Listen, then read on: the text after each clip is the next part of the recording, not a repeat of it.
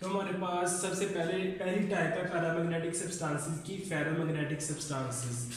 تو اس کی ڈیفینیشن ہے when magnetic field is apply on a substances and magnet remain present in substance after moving magnetic field is called ferro magnetic substances تو اس definition کا مطلب ہے کہ جب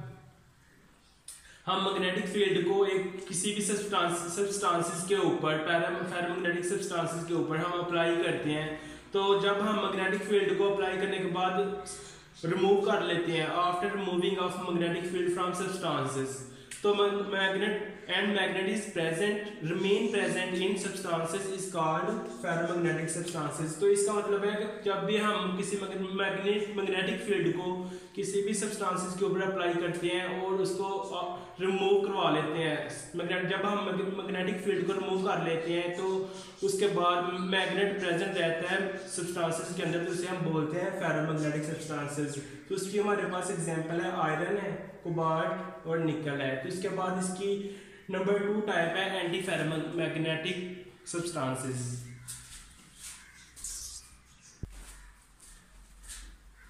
اس کے بعد پیرامیگنیٹک سبسٹانسز کی نمبر ٹو ٹائپ ہے ہمارے پاس اینٹی فیرو میگنیٹک سبسٹانسز تو اس کی ڈیفینیشن ہے those substances in which magnetic force is not remain in substances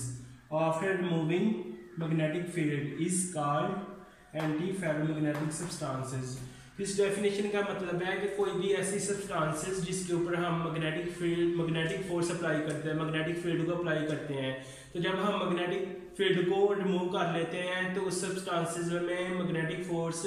نہیں رہتی۔ تو وہ دوبارہ اپنی پہلے والی حالت میں آ جاتی ہے۔ تو اسے ہم بولتے ہیں اینٹی فیرو میگنیٹک سبسٹانسز تو اس کی ہمارے پاس ایگزامپل ہے یٹریم